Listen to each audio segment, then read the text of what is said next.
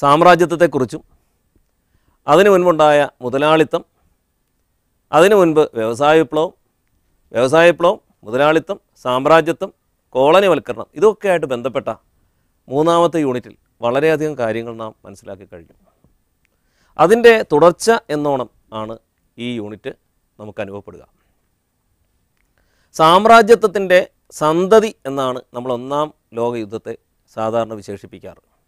സാമ്രാജ്യത്വത്തിന്റെ എല്ലാവിധ ദോഷങ്ങളും ഈ യുദ്ധത്തിൽ പ്രതിഫലിച്ചു. ഈ യുദ്ധം നടന്നുകൊണ്ടിരിക്കെ തന്നെയാണ് ആയിരത്തി തൊള്ളായിരത്തി പതിനേഴിൽ ചരിത്രപ്രസിദ്ധമായ റഷ്യൻ വിപ്ലവം നടക്കുന്നത്. ആ റഷ്യൻ വിപ്ലവത്തെക്കുറിച്ച് നമ്മളിവിടെ വളരെയധികം കാര്യങ്ങൾ പരാമർശിക്കുന്നുണ്ട്. യുദ്ധം ഒന്നാം ലോക യുദ്ധവും അതുപോലെ ആ സമയത്ത് അമേരിക്കയുടെ ഒരു മുന്നേറ്റം.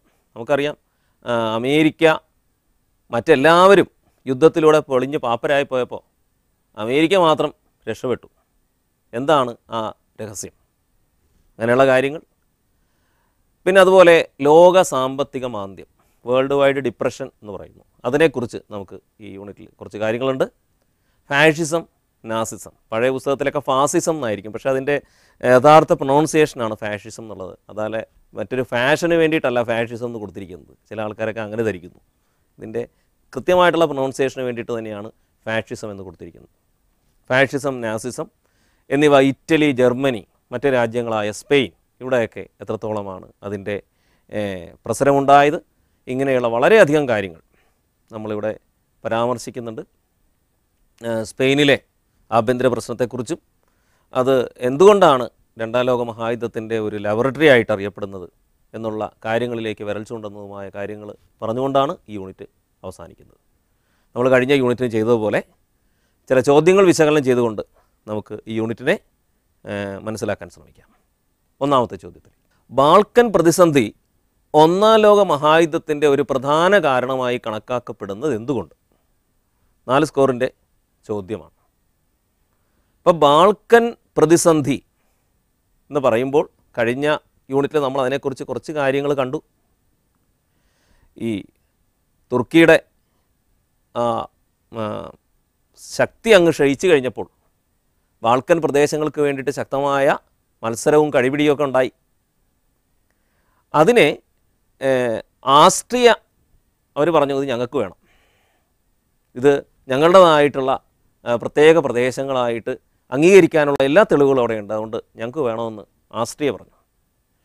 ആസ്ട്രിയ ഇങ്ങനെ വന്നപ്പോൾ അവരുടെ സുഹൃത്തും വഴികാട്ടിയുമായ ജർമ്മനി കണ്ണു അടച്ചതിനെ അങ്ങ് പിന്തുണച്ചു. ശരിയാണ്. ആസ്ട്രിയയുടെ വാദം വളരെ ശരിയാണ്. ബാൾക്കൻ പ്രദേശങ്ങൾ അവർക്ക് അവകാശപ്പെട്ടതാണ്. എന്നാൽ മറുവശത്ത് നിന്നും സെർബിയ വരുന്നുണ്ടായിരുന്നു.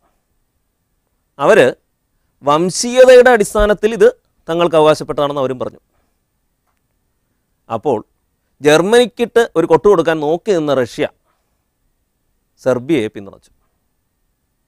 അപ്പോൾ ബാൾക്കൻ പ്രദേശങ്ങളെ ചൊല്ലി ഓസ്ട്രിയയും അതുപോലെ സെർബിയയും തമ്മിലുള്ള പ്രശ്നം സ്വാഭാവികമായിട്ട് എന്തായിട്ട് മാറി? ലോകശക്തികളായ ജർമ്മനിയും റഷ്യയും തമ്മിലുള്ള പ്രശ്നമായിട്ട് മാറി. ഇതുതന്നെയാണ് ഒരു പ്രതിസന്ധിയായിട്ട് മാറിയത്. അപ്പോൾ ബാൾക്കൻ പ്രദേശങ്ങളെ ചൊല്ലി റഷ്യയും ജർമ്മനിയും തമ്മിലുള്ള ഈ സംഘർഷമാണ് ബാൾക്കൻ പ്രതിസന്ധിയിലേക്ക് കാര്യങ്ങളെ വിട്ടത്. അപ്പോൾ ഈ പ്രബല ശക്തികളുടെ സമീപനം തീർച്ചയായും ഒന്നാം ലോക മഹായുദ്ധത്തിന്റെ വളരെ പ്രധാനപ്പെട്ട ഒരു കാരണമായി മാറി എന്നുള്ള കാര്യത്തിൽ യാതൊരു സംശയവുമില്ല. അപ്പോൾ ഈ കാര്യങ്ങൾ നമ്മൾ ഉൾക്കൊള്ളിച്ചുകൊണ്ട് നല്ല ഒരു ഉത്തരം തയ്യാറാക്കാൻ ശ്രമിക്കുകയാണ് വേണ്ടത്. നമുക്ക് അടുത്ത ചോദ്യത്തിലേക്ക് പോകാം മറ്റൊരു പ്രതിസന്ധിയെക്കുറിച്ചാണ് ഈ ചോദ്യം. മൊറോക്കൻ പ്രതിസന്ധി ഉണ്ടായത് എങ്ങനെ?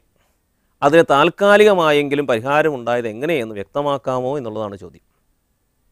അപ്പോൾ മൊറോക്കോയിൽ പ്രതിസന്ധി ഉണ്ടായപ്പോൾ അതിന് പരിഹാരവും ഉണ്ടായി. അത് ചോദ്യത്തിൽ തന്നെ ഉണ്ട്. അപ്പോൾ മൂന്ന് സ്കോറിന്റെ ചോദ്യമാണിത്. അപ്പോൾ ആയിരത്തി തൊള്ളായിരത്തി നാലിൽ ഫ്രാൻസും ബ്രിട്ടനും തമ്മിൽ ഒരു രഹസ്യ കരാറുണ്ടായി. എന്താണെന്നറിയാമോ?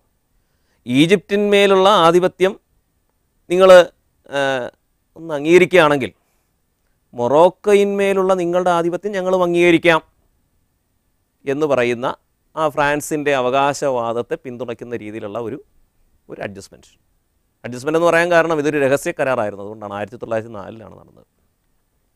എന്നാൽ ഇത് മനസ്സിലാക്കിയ ജർമ്മനി എന്തെടുത്തു? ഫ്രാൻസിന്റെ അവകാശവാദത്തെ ജർമ്മനി എതിർത്തു. ആഹാ അങ്ങനെ ഈ മൊറോക്കോയെ കൊണ്ടുപോകാനായിട്ട് സാധിക്കുമോ? ഇത് നിങ്ങൾക്ക് അവകാശപ്പെട്ടതാണോ? നിങ്ങൾ രണ്ടുപേരും കൂടി കാര്യങ്ങൾ തീരുമാനിച്ചാൽ മതിയോ? എന്നുള്ള രീതിയിലുള്ളൊരു സമീപനം. സാർ ഇങ്ങനെയൊക്കെ പറയുന്നത് നമ്മൾ ആ കാര്യങ്ങൾ മനസ്സിലാക്കാൻ വേണ്ടിയിട്ടാണ്. നമ്മൾ കാര്യങ്ങൾ മനസ്സിലാക്കുന്നത് ഇങ്ങനെയാണെങ്കിലും എഴുതുന്നത് കൃത്യമായ നല്ല ഭാഷയിൽ തന്നെ ആയിരിക്കണം. അപ്പോൾ ഫ്രാൻസിന്റെ അവകാശവാദത്തെ ജർമ്മനി എതിർത്തു. അത് പ്രതിസന്ധിക്ക് കാരണമായി. പ്രശ്നം തീർക്കണമല്ലോ. വൻശക്തികളല്ലേ? അവർ രണ്ട് ചേരികളിൽ നിൽക്കുകയാണെങ്കിൽ പോലും കാര്യം പരിഹരിച്ചു. എങ്ങനെയാണ്? ഫ്രഞ്ച് കോങ്കോയുടെ ഒരു ഭാഗം ഇവരുടെ കയ്യിലുള്ളതാണ് അത് ജർമ്മനിക്ക് കൊടുത്തു. തൽക്കാലം പ്രശ്നം അങ്ങനെ സമാപിച്ചു. അപ്പോൾ ഏതായാലും വലിയൊരു പ്രതിസന്ധി ഈ ഒരു കോംപ്രമൈസിലൂടെ തീർന്നു. പക്ഷേ ഇനിയും വരാൻ പോകുന്ന ധാരാളം പ്രശ്നങ്ങളുടെ ഒരു മുന്നോടി മാത്രമായിരുന്നു ഈ താൽക്കാലിക പ്രതിസന്ധി എന്ന് ചരിത്രം പഠിക്കുമ്പോൾ നമുക്ക് മനസ്സിലാവും. നമുക്ക് ഇതിന്റെ അടുത്ത ഭാഗം മറ്റൊരു ചോദ്യത്തിന്റെ രൂപത്തിൽ നോക്കാം. ബാഗ്ദാദ് റെയിൽ മൊറോക്കൻ പ്രതിസന്ധി പോലെയും ബാൾക്കൻ പ്രതിസന്ധി പോലെയും നമ്മൾ പറയുന്ന ഒന്നാണ് ഈ ബാഗ്ദാദ് റെയിലിന്റെ നിർമ്മാണം. ഈ ബാഗ്ദാദ് എന്ന് പറഞ്ഞു കഴിഞ്ഞാൽ ബാഗ്ദാദ് പട്ടണവും ജർമ്മനിയിലെ നമുക്ക് ചരിത്ര പ്രസിദ്ധമായിട്ടുള്ള ബെർലിനുമായിട്ട് ബന്ധിപ്പിക്കുന്ന ഒരു റെയിലാണ് ഈ ബാഗ്ദാദ് റെയിൽ എന്ന് പറയുന്നത്.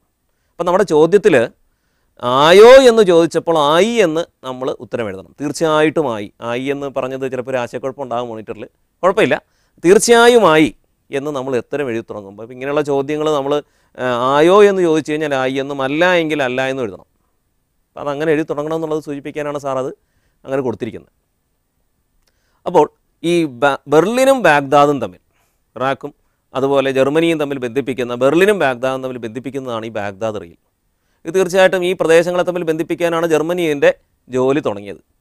പക്ഷേ ഈ റെയിൽ പൂർത്തിയാകുന്നതോടുകൂടി അവിടുത്തെ കച്ചവടത്തിന്റെയും മറ്റെല്ലാത്തിന്റെയും അധീശന്മാർ ആരായിട്ട് മാറും? സ്വാഭാവികമായിട്ട് ജർമ്മനി മാറും എന്നുള്ള കാര്യത്തിൽ സംശയമില്ല. ഇതാണ് അങ്കലാപ്പുണ്ടാക്കിയത്. ബ്രിട്ടന്റെയും റഷ്യയുടെയും മറ്റ് ശക്തികളുടെയും ഒക്കെ അങ്കലാപ്പിനും ഭയപ്പാടിനും ഒക്കെ കാരണമായി. യഥാർത്ഥത്തിൽ ബാഗ്ദാദ് റെയിലിന്റെ നിർമ്മാണവും ലോകയുദ്ധത്തിലേക്ക് ഇൻഡയറക്റ്റായിട്ട് ചില അവസരങ്ങളിൽ നമുക്ക് ഡയറക്റ്റായിട്ട് തന്നെ നമുക്ക് പറയാം. മാറിയ ഒരു സംഗതിയാണ് ബാഗ്ദാദ് റെയിലിന്റെ